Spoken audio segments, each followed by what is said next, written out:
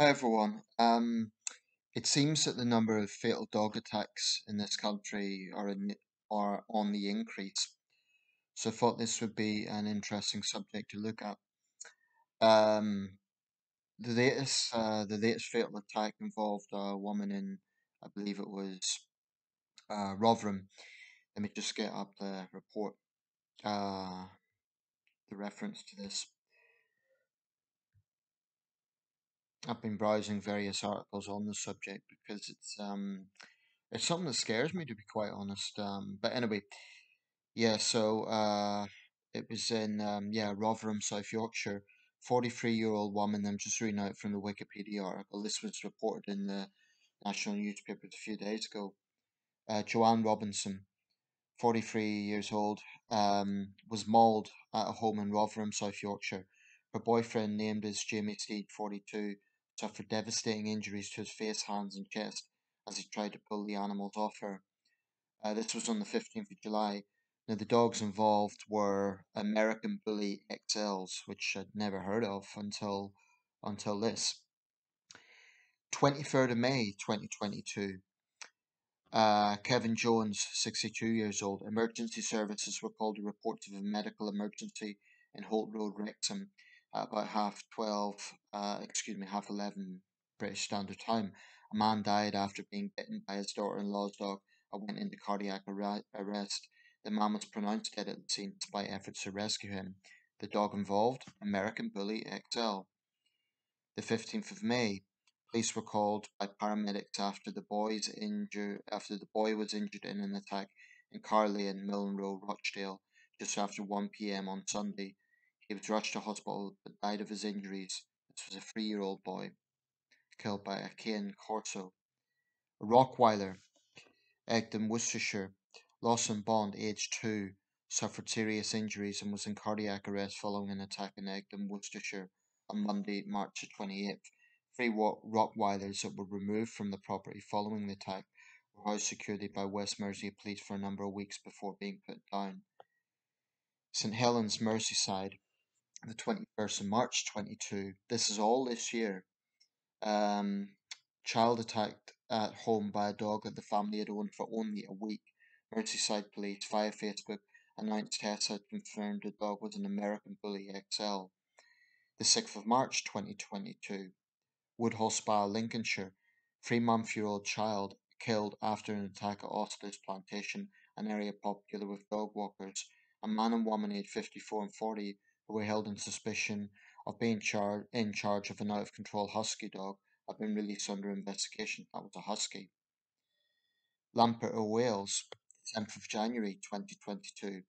A man was bitten by three dogs at a house in the town and subsequently died at the scene from his injuries, as recorded by Ceredigion Coroner's Office. A woman was subsequently arrested in connection with the attack. Three British Bulldogs. Uh, and December 22nd, Dundee. American Bully XL, the owner of a dog kennel in Cattery, was attacked by a dog. Police Scotland confirmed a man was pronounced dead at the scene. Now, uh, this year alone, that's six fatal dog attacks. Six in one year, and we're only in July. Clearly, there is something going on. Um, looking back at this, um, I'll just pick out some other examples. Here's one that got uh, a good bit of attention at the time. Birmingham. A woman died after being attacked by her dog. Her brother brought her to improve her mental health. A post-mortem examination revealed extensive injuries the court heard which likely caused her death. That was the Staffordshire Cross, the 5th of February last year. Um, I, I remember that case got a lot of attention. People were saying the brother was irresponsible doing that. Um, but you know, going back um, in this decade alone, the 2020s, I'm counting here uh, one, two, three, four, um, ten. Ten fatal dog attacks in just this first quarter of the 2020s in this country. Ten. Now, just to put that in context, um, assuming this list is complete and there may be cases that weren't documented in the whole of the 19, well, actually, from the 1986 to 1996, there were six fatal dog attacks in that whole 10 year period. Um, the three, the three cases uh, before the 20th century, but I'm guessing that's far from complete, so I wouldn't hold that at face value. But um, 2000 to 2009, 1, 2, 3, 4, 5, 6, 7, 8, 9, 10, 11, 11 fatal attacks in the 2000s decade. But I think just looking at this list, it is clear that assuming it's complete, um, and actually this is based on sources um, outside of Wikipedia, dog attacks are on the rise, fatal dog attacks. Now, this is something that seems to provoke strong emotions, particularly from dog owners. And the usual refrain goes something like this whenever there's a report of a fatal dog attack don't blame the, blame the breed, blame the owners. Now, honestly, that reminds me a little bit of American gun owners who say it's not guns that kill people, it's people who kill people. Well, at some point you have to ask, is there actually a trend with this? Let's look at, I'm just going to go back through these cases again and name the species involved, the, the breed rather involved. This is the last, let's say, 10, 15 cases I'm going to read out. I'm just going to read out the dogs involved.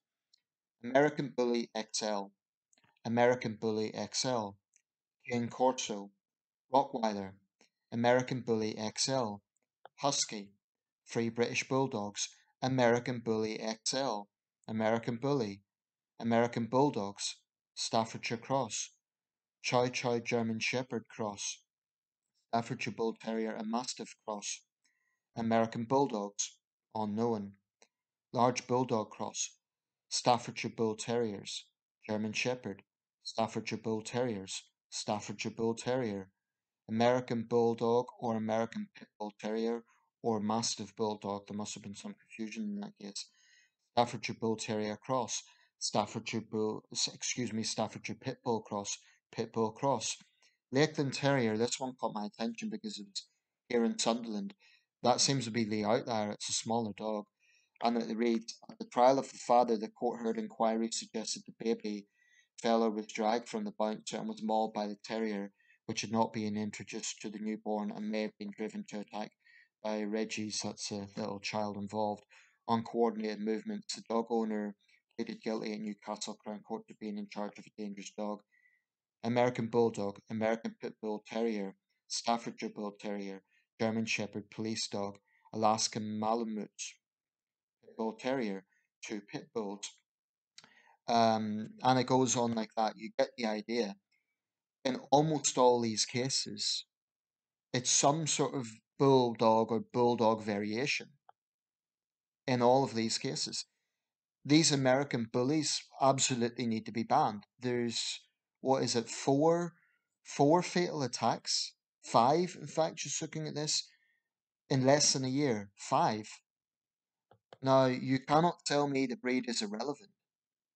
We're not hearing about greyhounds killing people. We're not hearing about golden retrievers killing people. Clearly, there's a problem with these large, powerful, stocky animals. And I think that, uh, you know, people who sort of get defensive about this, oh, my, my staffy can't do anything, or my bulldog is harmless. Maybe it is. Maybe your own pet hasn't posed any problems. But I think there is a sort of denial with the, the owners of these dogs because they they obviously are defensive of the pet. They see calm temperament. Um, I just think there is too much of a risk factor at play here. Now, in the Dangerous Dogs Act of 1991, which is a controversial act, some say it unfairly stigmatizes certain breeds. There are four breeds banned in the UK, as I understand it. Um, let me just double check this. This act was brought in in 1991. The four banned dog breeds are Pit Bull Terriers, Japanese Tosas, Dogo Argentinos, and Fila Brasileiros. The Pit Bull Terriers are banned, yet some of these attacks have uh, involved them. But as I understand it, this isn't quite clear cut where these breeds are banned. Um, according to the report on this, a Wikipedia article. Um, I'll just read this out. If if you just bear with me a second.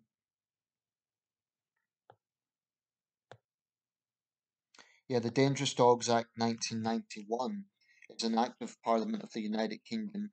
Uh, this was in the major era. prohibiting or restricting certain types of dogs, and codifying the criminal offence of allowing a dog of any breed to be dangerously out of control.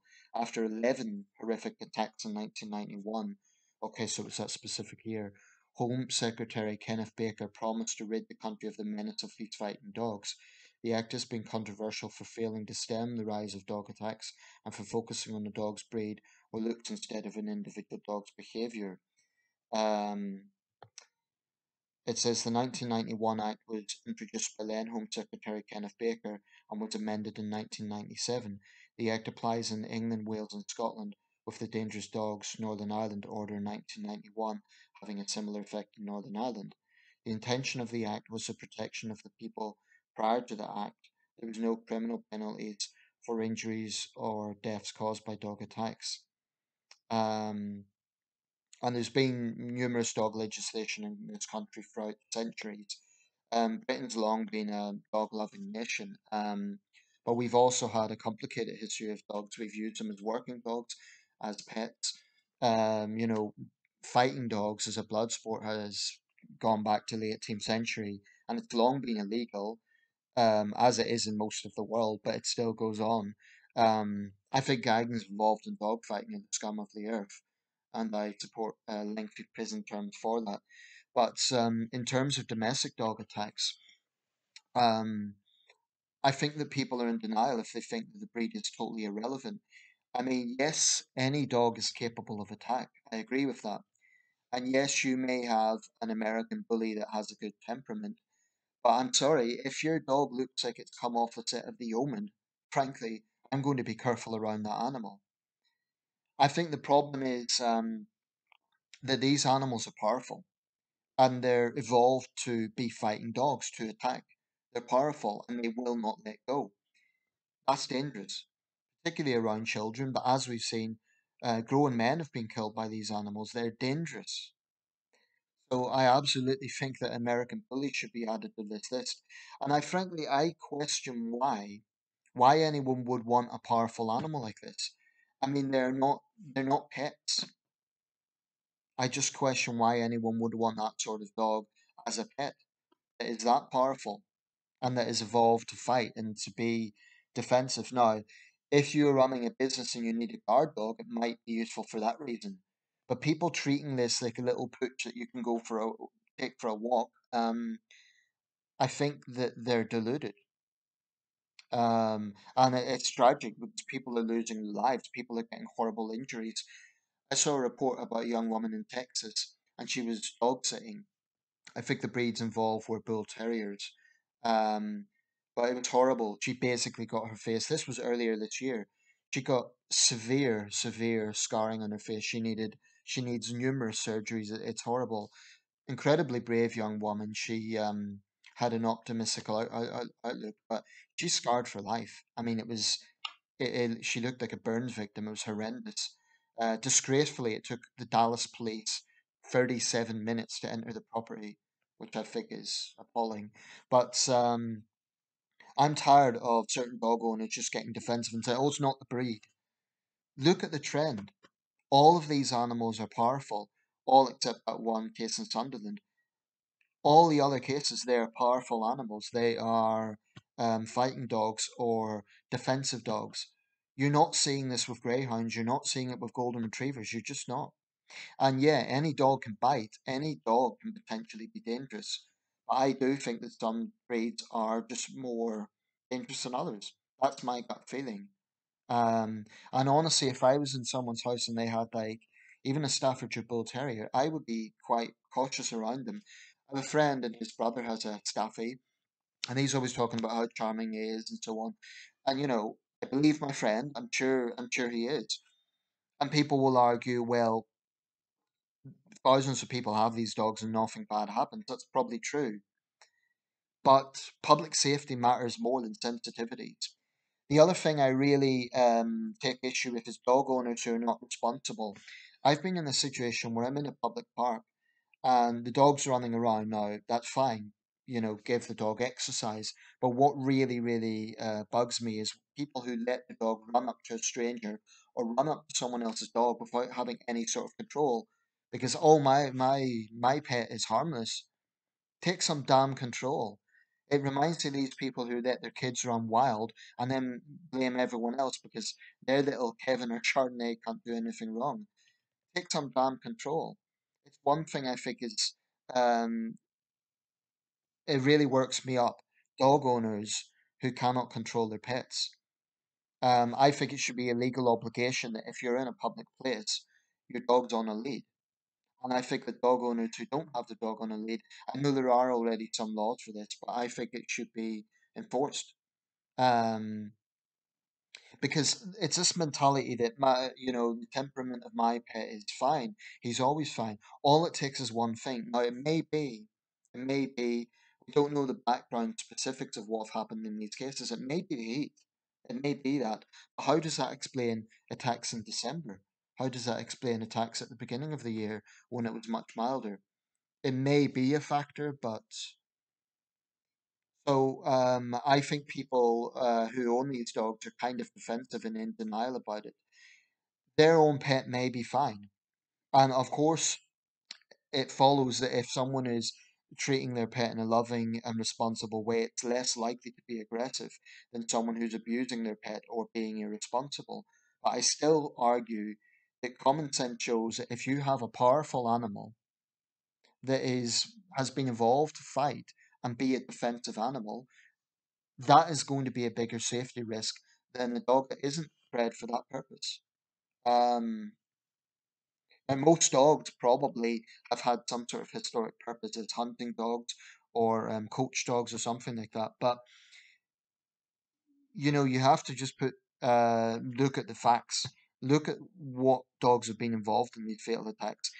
Five in the last year have involved American bullies. Just ban the damn things. I don't know why anyone needs them.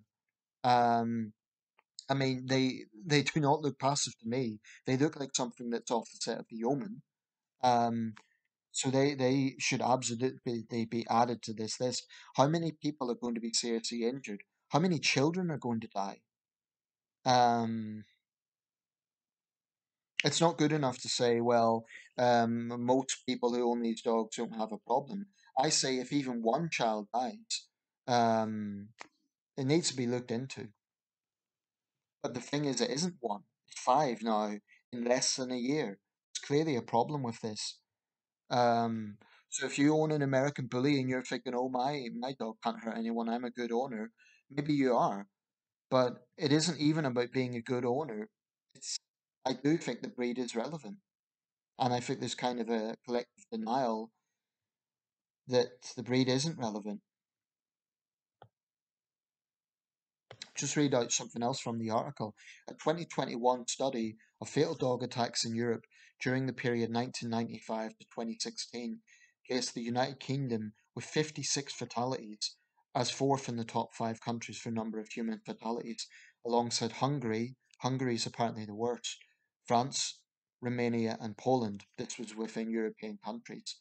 The study also found that fatal dog attacks have been increasingly have been increasing significantly over time, which was not attributable to the increase in number of dogs, and stated the number of fatalities are indeed a very small tip of the dog attack iceberg, and the number of dog attacks that led to hospitalizations of the victim outnumbered fatalities by several orders of magnitude. Of course, there's going to be it's well, it's like the gun thing, you know. You can look at the number of mass shootings, but the number of people killed by guns in, for example, domestic incidents is going to be significantly higher. I say, you know, what about the number of people who have had life-changing scars from fatal dog, but from dog attacks? This problem needs to be taken seriously because, um, I mean, I'm not a parent, but I, I would be damn careful if I had children um, around these animals. I just think, um, I do think breeds are a factor. And looking at this, you can't honestly say that there is no correlation. You know, oh, well, it's just a coincidence, really. Um, I appreciate not everyone will agree with this. Um, some people will still insist, oh, it's purely down to the owner. Well, okay, uh, this latest attack, the woman's, uh, the deceased woman's extended family said the dog had a good temperament and she was a loving and kind owner. So how does that explain it? You know, there's no indication that she was abusive or anything like that. It might well be that there are people who are perhaps a bit naive and they buy these powerful animals that maybe they can't control. I think as a guiding principle, if you don't have the strength, physical strength to control your dog, you shouldn't have it. Let me know your thoughts. But I, I think, frankly, it scares me. The, these animals, um, they scare me because I think they just are unpredictable, and I think it doesn't matter if they've been passive for for years. Something could set them off, whether it's who knows, whatever it is. But if they're naturally more powerful, I think they're naturally going to be more dangerous. Yes, any dog can bite. A Chihuahua can bite, and you know what they say: little dogs have a bigger bark.